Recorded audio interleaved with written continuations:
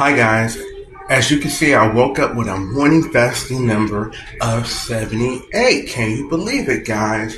So, uh, I've eliminated metformin, I've eliminated Jardiance, so I'm down to my once a week Ozempic.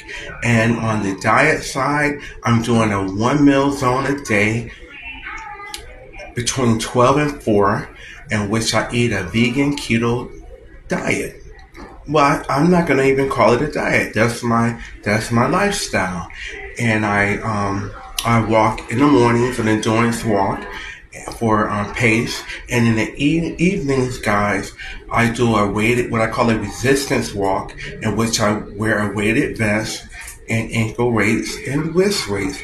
Guys, it's, all, it's producing these phenomenal results.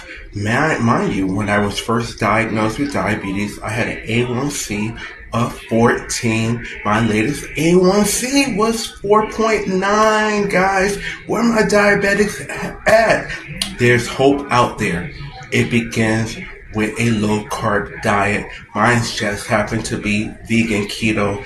Guys, get on board. Let's all grow in diabetic health, health, guys. Um, I appreciate your support. Like, follow. Let's grow together. Thank you so much.